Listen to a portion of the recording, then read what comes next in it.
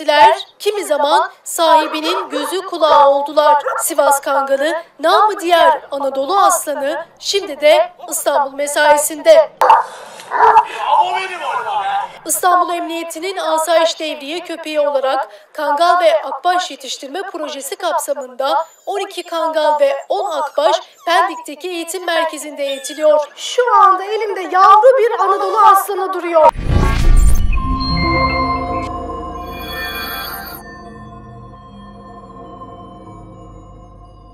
Selam dostlar, hepinize merhabalar. Şimdi bugün bir önceki videoda emniyetten emekli polis köpeği nasıl sahiplenilir ya da sahiplenilmez onu anlattım. Şimdi bu videoda da böyle 2016 yılından beri işte emniyetimize yerli milli köpeklerimizi kazandırıyoruz. İşte emniyet teşkilatı Kangalları ve Akbaşları e, teşkilatın içine soktu. Artık Kangallar Türk Emniyetinde gibi böyle sürekli haberler çıkıyor. Özellikle 2018 2017'nin Aralık ayıydı. Herhalde 2018'in yılbaşında e, Kangallarla ve Akbaşlarla dört tane köpekti benim gördüğüm. İşte polisler alıp Taksim'de böyle bir yürüttüler. Havaalanında da bir gezdirdiler falan. Ka- evet Kangallarımız ve Akbaşlarımız polis köpeği oldu mu abi? Oldu. Oldu yani. Kangallar ve Akbaşlar polis köpeği oldu. Yani ne oldu? Emniyet teşkilatının içerisine zimmetlenip bu köpekler girdi. İşte Kangal'da bir çiftlikten temin edildi. Güzel üreticiden ve aldıkları köpeklere bakarsak hani köpekler gerçekten de ırkın güzel örnekleri. Böyle devasa büyük köpekler değil. iş yapabilecek ölçüde köpekler. İşte videosunu da koyarım. Ee, köpekler engel atlıyor. Belirli engellerden geçiyor. Eğitmenleri çalıştırmış köpekleri. Özenle seçiliyor, polis köpeği olmak için zorlu bir eğitime tabi tutuluyorlar. Pati yapısına bakıyoruz. Ee, göz, göz rengi, kulak yapısı, burun yapısı, e, kafalarındaki siyahlık oluşumu yani maske dediğimiz, e, göğüs kısmı, döş dediğimiz, köpeklerin sağlık durumu, kemiklerinin gelişim süreci, eğitimleri zor. Hazır olduklarında da polisin yanındaki yerlerini alıyor, mesaiye başlıyorlar. Sadece e, asayiş devriye alanında göreceksiniz. Yani sokaklarda e, ve toplumsal olaylarda göreceksiniz. gayet de başarılı olmuş gibi görünüyor. Fakat şöyle bir şey var arkadaşlar. Bunlar proje. Yapılması gerekiyor mu? Evet yapılması gerekiyor bu projelerin. Bizim yerli milli köpeklerimizin de emniyet teşkilatına kazandırılması gerekiyor. Ama görev yapar biçimde kazandırılması gerekiyor. Şimdi bizim köpeklerimizin özelliği sürü koruma köpekleri. Sürü koruma köpeği olduğu için hem sürüsünü başka sürülerinin köpeklerine karşı koruyacak hem dışarıdan gelen kötü niyetli iki ayaklı insanlara karşı koruyacak. Bir de vahşi hayvana karşı sürüyü koru- koruyacak. Şimdi bizim köpeklerimizin asıl vazifesi bu. Şimdi asıl vazifenin bu olması sebebiyle bizim köpeklerimizde işte Alman çoban köpekleri gibi Rottweiler'lar, Doberman'lar, Malinois'lar gibi bir eğitim kriteri yok. Neden? Köpeğin asli vazifesi sürüleri korumak ve gütmek. Şimdi bizi çoban köpeği düşmanı ilan ediyorlar. Şimdi çoban köpeği düşmanı, düşmanı ilan etmenize beni gerek yok arkadaşlar. Şimdi ben yerli milli köpeklerimizi bu işi yaparken kullanıldığı sürece seviyorum. Sıkıntı yok. Ama Amerika'yı keşfettiler abi. Şimdi Amerika keşfedildiği için bir daha biz işte açılalım, Amerika'yı bulalım, yani yeni bir kıta bulalım derdine düşmememiz lazım. Niye? Bunu yapmak istiyorsak köpeklerimizi ıslah etmemiz gerekiyor. Yani köpeklerimizden iş yapabilir nesiller çıkarmamız gerekiyor. Ya bu emniyetin yaptığı projeyle başlangıç olarak olabilir mi? Olabilir. Ama aradan 3 sene geçti. Projenin devamı yok. Yani hiçbir ilin emniyet müdürlüğünde, kem, keminde biz bu köpekleri görmedik. Görmüyoruz. Yani şöyle de bir şey var abi. Yani işte çevik kuvvet kangalları ve akbaşları kullanacak. E abi kullanacak en kötüsü 65-70 kilo gelen, dört ayağı üzerine basan bir canlıdan bahsediyoruz. E çevik kuvvetteki bizim polislerimiz genç çocuklar yani. E civa gibi çocuklar. En babası gelse 75 kilo geliyor, 80 kilo geliyor. E genç çocuklar yani. E şimdi sen 80 kiloluk köpeği 80 kiloluk adamın eline vereceksin. Ağzına ağızlık takacaksın. Ya ağzına ağızlık takılmış bir polis köpeği olur mu toplumsal müdahaleye gidince? Ne yapacak? Göstericiyle güreş mi yapacak abi köpek?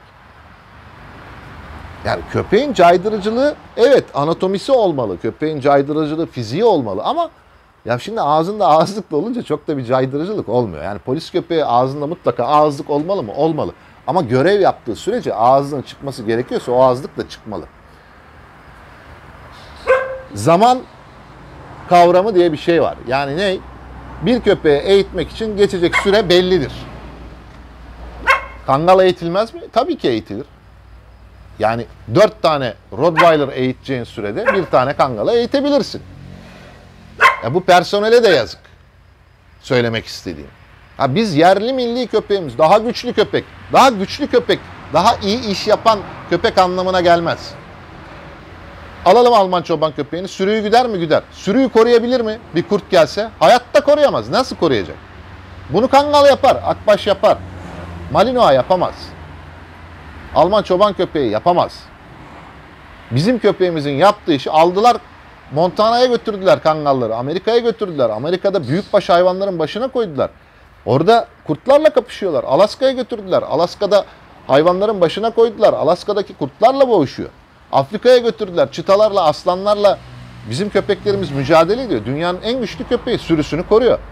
Hayvanlarının ünü Türkiye'yi aşmıştı. Artık Afrika kıtasında da deyim yerinde ise vahşi hayvanlara karşı nam salıyorlar. Yaklaşık 300 Sivas Kangal ve Anadolu çoban köpeği Namibya'da koyun, keçi, inek sürülerini çitalara karşı koruyor.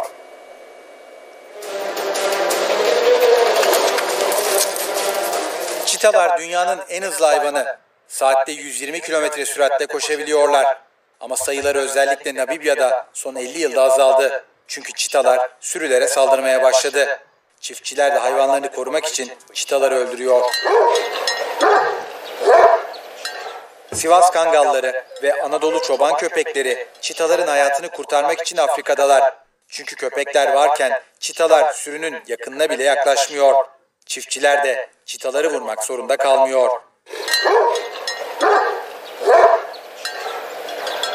Sivas Kangal köpekleri çita koruma projesi kapsamında bölgeye geldi. Yüzyıllardır Anadolu'daki çiftçilerin sürülerini her türlü tehlikeden koruyan bu çoban köpeği şimdi de Afrikalı çiftçilerin yardımına koşuyor. Çitalar kangalların havlamasından ve heybetinden ürküp sürüye saldıramıyor.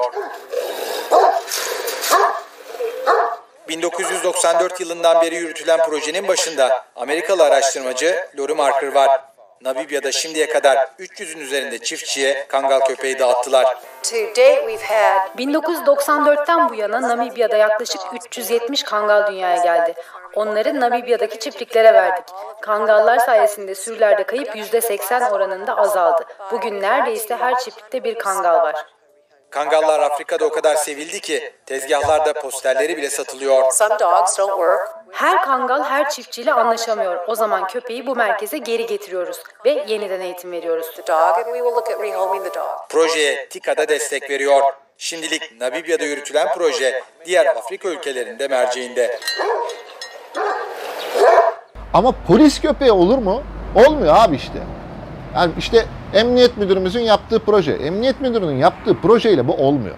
Bunu oturacak veteriner fakülteleri, köpek üreticileri, işte emniyet, Türkiye Cumhuriyeti'nin işte silahlı kuvvetleri bize ne lazım? Nasıl bir köpek lazım? Anatomisi ne kadar olmalı? Boyu ne kadar olmalı? Köpeğin iş yapabilirlik özelliği nasıl olmalı? diye hesaplayınca ortaya o zaman bu köpeğin özelliği gibi özellik çıkıyor. Biz köpeğimizi bu köpeğin özelliğine sokarsak o zaman bizim köpeğimiz asli niteliğini kaybetmiş oluyor. Her şeyin milliyetçiliği olmaz. Köpekle milliyetçilik yapılmaz. Köpeğin milliyetçiliği olmaz. Bu kültür ırkı bütün dünyaya mal olmuş. Bütün K9 eğitimi dediğimiz bütün köpek eğitimlerini alıp yapabilen bir ırk. Bizim köpeğimiz öyle değil. Bizim köpeğimiz sürü koruma köpeği. Üstüne köpek yok. Tek köpek ya.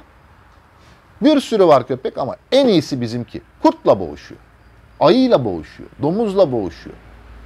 Görevini yapıyor. Görevi sürüleri korumak.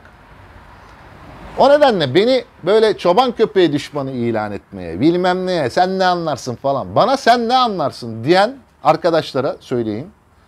Çoğunuzdan daha iyi anlarım. Biz Alman çoban köpeği bakıyoruz diye kangal bakmadık mı sanıyorsunuz? Şimdi bu hatayı arkadaşlar sene 2000 Urfa Akçakale'de görev yapıyorum. Sınır karakolunda. Bursa Gemlik'ten Kangal köpeklerini istakip köpeği olarak gönderdiler. İstakip köpeği. Abi bakıcılarıyla beraber uzman çavuş ya da er erbaş bunlarla beraber geldi bu köpekler. Bakın sistemin hatasını anlatayım. Şimdi adam eğer uzun dönem askerlik yapan bir er erbaşsa terhis oluyor gidiyor. Köpek kalıyor. Karakolun zimmetli köpeği olarak. Yerine başka bir bakıcı geliyor. Herif o kangalın yanına girene kadar bir, bir buçuk ay geçiyor. Bu köpekleri iz takibine çıkaracaksın. Her gün karakolun sınırı kaç kilometre ise iz tarlasında bakılır, takip edilir iz tarlası. Karakol komutanı çıkar, iz takip köpekleriyle beraber çıkar. Ben iki sene boyunca o köpeklerle iz takibine çıkamadım. Niye? Çünkü o köpekler bu görevi yapmıyor. Yapmıyor arkadaşlar. Ben orada çalışmış karakol komutanı olarak görev yapmış bir insan olarak kendi yerli milli köpeklerimizle bunu yapamadım. İki tane kendi köpeğimizi yan yana çıkarınca ikisinin birbiriyle iki erkek köpeğin kavga etmek gibi bir özelliği var. Yapamadık, olmadı işte. Ben yapamadım. E ben yapamadım, kim yaptı? Desin ki ben Kangal'la çıktım kardeşim. Bursa Gemlik'ten silahlı kuvvetlerin gönderdiği Kangal'la biz iz takibi yaptık. Desin bir Allah'ın kulu bana. Diyor ya Peker. Aha parmak burada. Al. Bilek burada. Keseceğim lan. Yani işkembeyi kübradan atmakla bu iş olmuyor. Proje böyle yapılmaz. Proje yapıp böyle işte amirlere şirin gözüklük, aa bak yerli köpeği aldık, polis köpeği yaptık demekle bu iş olmuyor. Orada gencecik çocukların eline vakit önemli. 6 tane, 8 tane, 10 tane köpek yetiştirecek bu işinde uzmanlaşmış bir adamın eline bu köpeği tutturup zorla bu köpeği eğittirmek, başka birine prim yapacağım, puan yapacağım diye proje yapmakla bu iş olmaz. Olmaz. Milliyetçi düşünce bu değildir. Vakitten tasarruftur. İş yapabilirliktir. İş yapılamazlık değildir. Ben, biz bu işi yapamadık bu köpeklerle. Dört sene geçti aradan. Yerli milli köpeklerimiz bütün il emniyet teşkilatına dağılacaktı. Ne oldu? Hiçbir şey. Peki bizim karakollardaki kangallarımız ne oldu arkadaşlar biliyor musunuz? Ömrünün sonuna kadar kafeslerin içinde kaldılar. Ömürlerinin sonuna kadar kafeslerin içinde ömürleri bitti. Öldü gitti hayvancağızlar. Ya bu işin başına silahlı kuvvetlerde de Malinois'larla Working Line Alman çobanları çiftleştirip kırma köpekleri gönderdiler görev köpeği olarak. Sizce bir Belçikalıyla bir Alman oturup ne haber birader bizim köpekleri çiftleştirelim araya böyle e, işte German Noise diye bir köpek yapalım. Niye demiyorlar da bizimkiler yani oturup böyle bir eşleşme yapıp böyle bir köpek gönderdiler. Akıl almıyor. Akıl almıyor ya. Hangi zihniyet, hangi matematik bunu yapıyor? Akıl almıyor. İyi köpek çıkabilir mi? İyi görev köpeği çıkabilir mi? Çıkabilir. Olabilir. Çıkabilir. Ama üretim bölüğü diye bir yer var. Üretim birimi diye bir yer var. Üretim biriminde kendini kanıtlamış iki tane ırkı sen çaprazlayamazsın. Çaprazlarsan çıkacak yavruların bir tanesi iyi iş yapar, öbürü yapmaz. Arada klasman farkı olur. İşte alacağız biz kangal eğitilemez mi? Niye eğitilemesin ya? Gel, gel. Kangal niye eğitilemesin? Köpek değil mi? Akbaş niye eğitilemesin? Köpek değil mi? Eğitilir. Uzun zaman gerekir. Uzun uğraş gerekir. Devletin bu kadar parası var mı? Bu kadar bütçesi var mı? Proje yapacağım, şirin gözükeceğim diye bu işler böyle yapmakla olmuyor arkadaşlar. Bizim köpeğimiz dünyanın en iyi sürü koruma köpeği. Bakın gütme demiyorum, koruma. Koruma köpeği. Sürüsü için kendini öldürtür yani. Bu köpek bu abi. Böyle kabul edin, böyle sevin. Boğuş köpeği değil bu. Alıp birbiriyle boğuşturmak için daha irisi, daha büyüğü değil. Köpekleri böyle sevin. Sürüsü olan adamlar alsın bu hayvanları kullansın. Binlerce yıldır zaten Türkler bu köpeği kullanıyor. Amerika'yı yeniden keşfetmeyin. Bir dahaki videoda görüşmek üzere. Görüşürüz. Hoşçakalın.